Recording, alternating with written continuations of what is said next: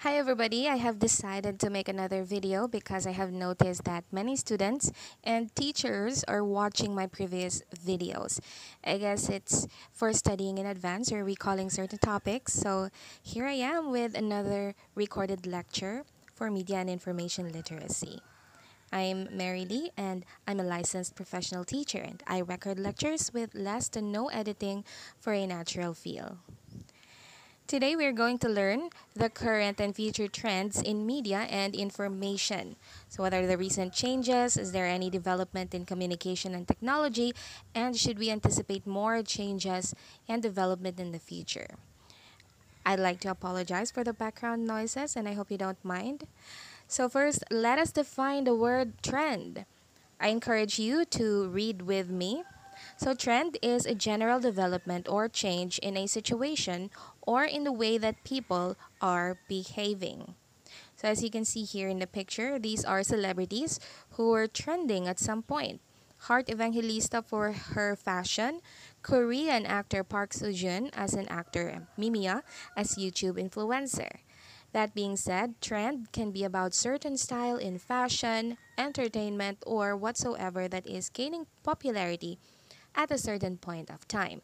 Usually, people follow anything that is trending. The psychology behind it is that people tend to follow the crowd. It is called the bandwagon effect, where people act in a certain way because others are doing the same. So, to set an example, as the first and second quarter of the year, or as of the first quart- quarter and second quarter of the year 2022, the people are going crazy with TikTok many people are using it. I'm sure you also do. TikTok is a social media platform for creating, sharing, and discovering short videos. The app is used by young people like you as an outlet to express themselves through singing, dancing, comedy, and lip syncing, and allows users to create videos and share them across a community.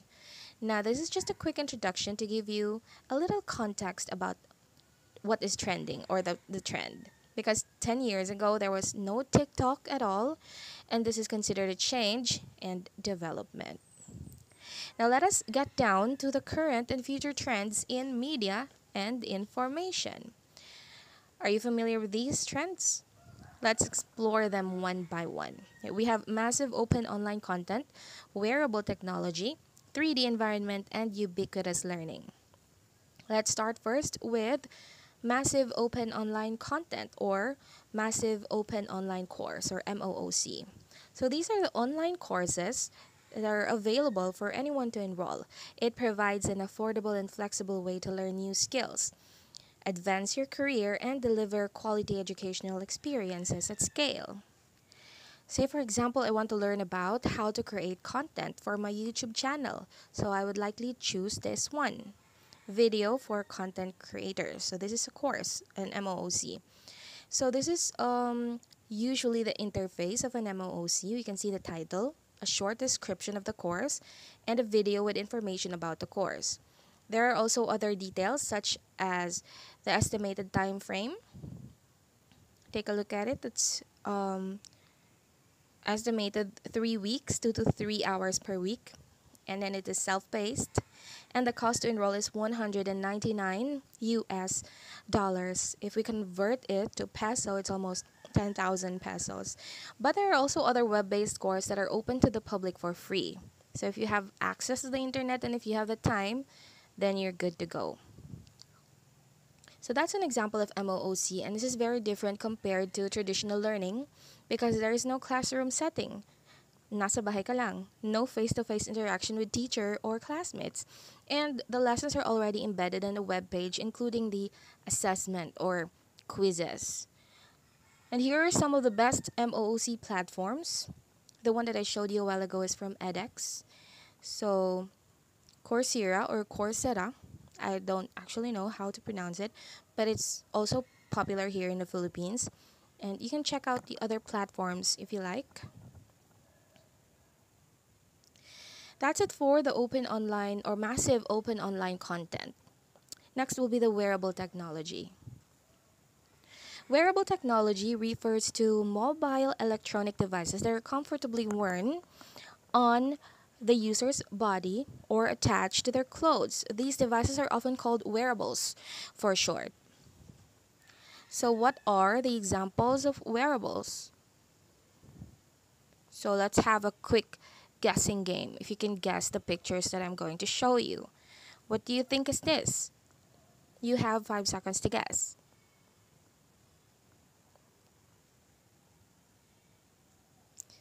This is smartwatch, yes. So most sw- smartwatches rely on a smartphone to function. So it allows you to see the notifications from your phone to your smartwatch. Now, how about this one?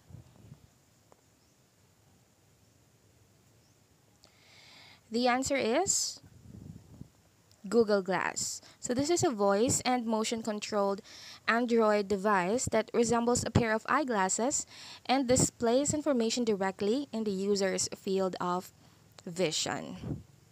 So other examples of wearables are fitness trackers. We also have smart jewelry and smart clothing. And also we have head-mounted displays so this is general category of wearables covering several segments such as a virtual reality and augmented reality glasses.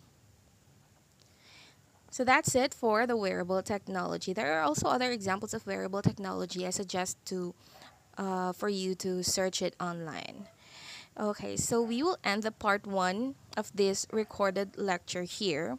And for part two, we will be continuing with 3D environment and ubiquitous learning and the video will be uploaded next week or earlier.